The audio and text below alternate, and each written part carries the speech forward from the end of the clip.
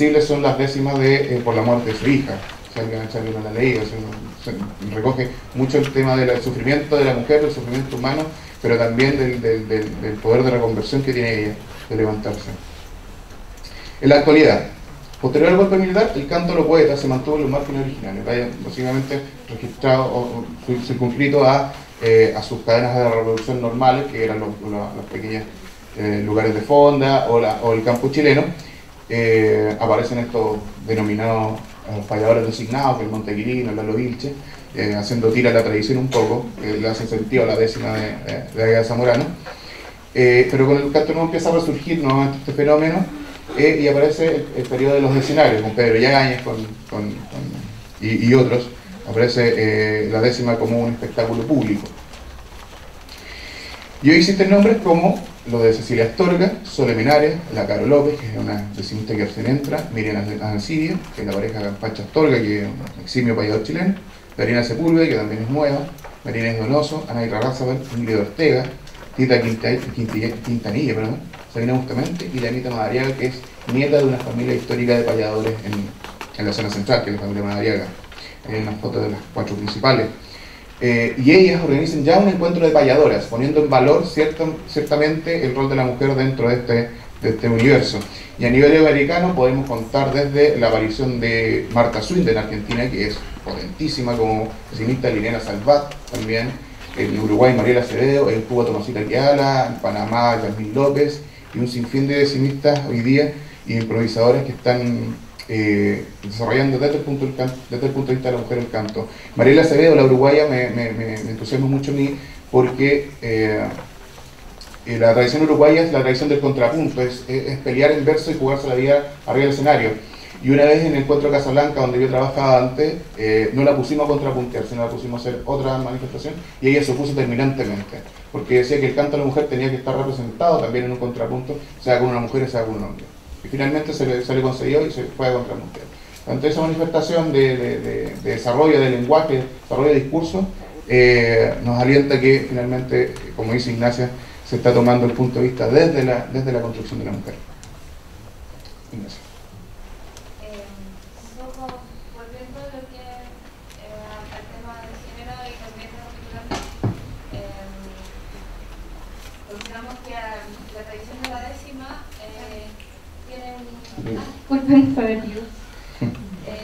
La tradición de la décima tiene eh, un desarrollo bastante reciente eh, en su historia desde el punto de vista de las mujeres, por así decirlo.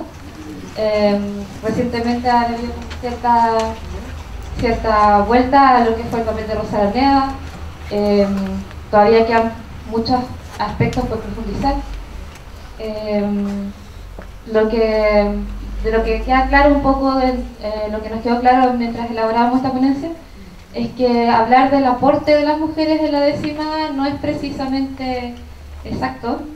Eh, si, uno lo, si uno lo entiende como un aporte menor, por así decirlo. O sea, son tan pocas las mujeres hasta ahora visibilizadas en, el ejercicio de la décima en la tradición que decir el aporte de las mujeres es como decir, bueno, sí, las mujeres también pusieron su granito de arena, no, no es tanto eso, eh, probablemente hay mucho que todavía no se, no se conoce al respecto, eh, y no es un granito de arena, sino es parte integral de la tradición hasta ahora, sobre todo ahora que están creciendo nuevas instancias.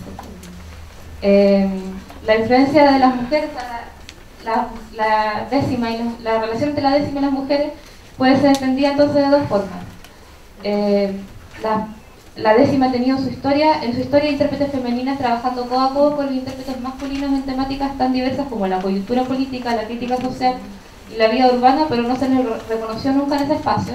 La primera perspectiva que les contaba, eh, la inclusión de las mujeres de los acervos y acontecimientos importantes, o, ver eh, que por estar vinculadas a lo doméstico y lo reproductivo tienen una vinculación bastante más reconocida aceptada ya desde 1920, eh, con la vida cotidiana en el mundo privado, o lo que me comentaba antes, lo jocoso, el aspecto amable de la décima, por así decirlo.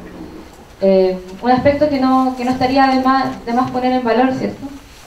Pero estamos ante una dicotomía que es clásica de los estudios de género, o sea, la igualdad versus la diferencia. Queremos que las mujeres eh, sean visibles en la vida cívica en la cultura tal como la conocemos, eh, o queremos también, o por otra parte, relevar eh, lo doméstico, lo privado, lo que ha sido oculto, que también vamos a considerar parte de nuestra historia. Lo cierto es que en esa dicotomía mm, se puede, podemos decir que la, la lucha va por ambos blancos, o sea, permitir el acceso a las mujeres a este mundo que ha sido llamado masculino y también revalorar este mundo que ha sido llamado femenino también es cuestionable que cada uno sea masculino y el otro femenino, claramente. Eh, y, por más que estas dos cosas se dan a la par, siempre hay una, tendencia hacia una, una perspectiva a la otra, que en nuestro caso fue la primera, ¿cierto? Visibilizar que no había mujeres en la historia de la décima, que la sigue habiendo y cada vez más eh, en su desarrollo. Bueno, la décima final es una de la tradición hispanoamericana es, aunque el poeta inventor fuera Vicente Espinel, la décima ya no es de él, sino del pueblo cantor. Si la plantó un señor, o si la creó un isleño, o si fue un margariteño que le dio la picardía, como no estudia en día, tiene todos por dueño. Básicamente decir que ya no es solamente un mundo masculino, sino que está apropiada finalmente por la mujer. Muchas gracias.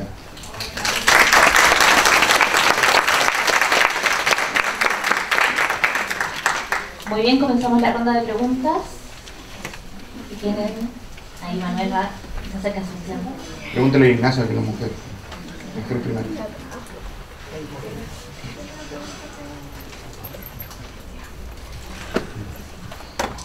Hola, les quiero hacer una pregunta un poco, puede ser un poco obvia, pero no, no sé lo que significa la palabra décima, o sea, tiene que ver con el número 10, ¿por qué décima? Y también eh, les quería contar que yo soy la productora del, documental Retrato de un antipoeta, de Nicanor Parra, y Nicanor siempre habló de los endecasílabos y también nunca sabía bien qué es eso. La décima finalmente es una poesía construida de 10 versos, que lo tenemos acá. el primero, el tercero y el quinto, el segundo y el tercero. Aquí también el, el sexto, con el noveno y el décimo, y el, séptimo y octavo entre ellos. Eso es una construcción de décima. Eh, supuestamente, como dice la décima, fue Vicente Espinel quien la construyó. Finalmente hay unas investigaciones que, casi un siglo antes de Vicente Espinel ya se usaba esa fórmula de verso, eh, que, no se lo vemos acá. Ese es el tema de, la, lo que décima. Finalmente el tema de la endecasílabo tiene que ver con, la, con las poesías de arte mayor o arte menor. Las poesías de arte mayor son que son que tienen 11 sílabas. El verso tiene 11 sílabas. En el caso de la décima, es una poesía de arte menor que tiene 8 sílabas, tiene menos de, 10 sílabas o 12 sílabas. Entonces uno va contando las, las sílabas y le va haciendo. Los poetas populares son súper rigurosos de que los versos tienen que ser octosílabos y con, rima, con rima consonante. Entonces la, la rima que eh, termina igual, terminan las palabras igual como de donde se acentúe. Entonces, en ese sentido los poetas populares siempre son mucho más exigentes. En Chile se permite un poco más la asonancia, pero en motivo meramente fundado. Pero, pero claramente eh, lo que es la construcción de una décima es lo que acabo de explicar en, en esta parte. ¿Sería posible tener algunas décimas? ¿En qué sentido? Eh, no sé cómo se la puedo explicar, me da un correo y le puedo hacer llegar material y un poco. Sí. Ningún problema.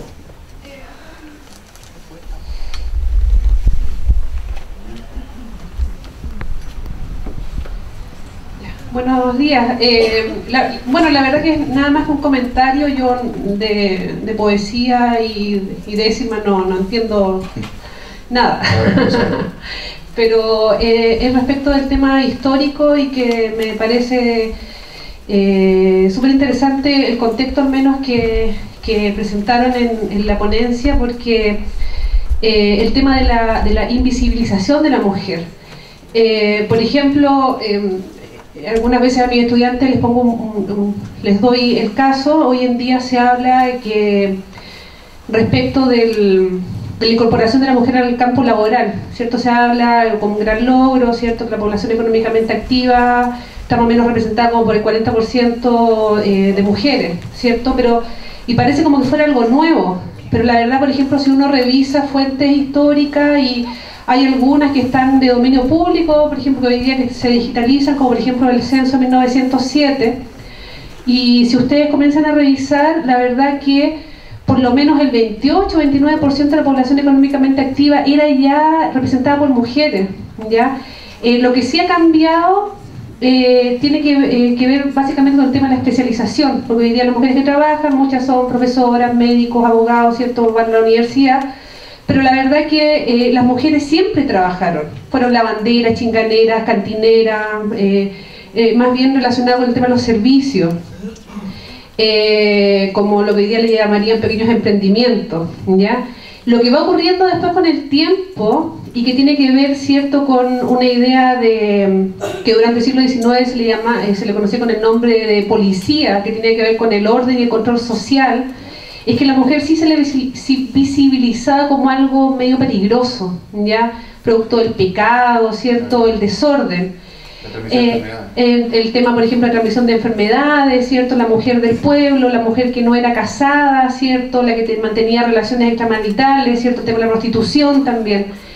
Eh, y hay un artículo bien interesante, si no me equivoco, me parece que Mauricio Rojas, es como de fines de los 90, eh, me parece que aparece en la revista Sur, y eh, que da un ejemplo bien particular y se relaciona con el tema eh, de, de, la mina del teniente, ¿ya? Y habla acerca de el hombre, ¿cierto? El minero, ¿cierto? Va a que la minería del corte sabe que es relativamente nueva porque antes dependíamos del tema salitre. Eh, bueno, y el hombre necesita ser atendido por mujeres, que les laven la ropa, ¿cierto? Que les cocinen. Entonces se genera toda una, una política desde la gran empresa para promover las uniones conyugales, porque la mujer que trabajaba sola en un ambiente de mucho hombre era visto como algo peligroso. Entonces, a partir de ese ejemplo, mostrando cómo la mujer se va yendo hacia el hogar.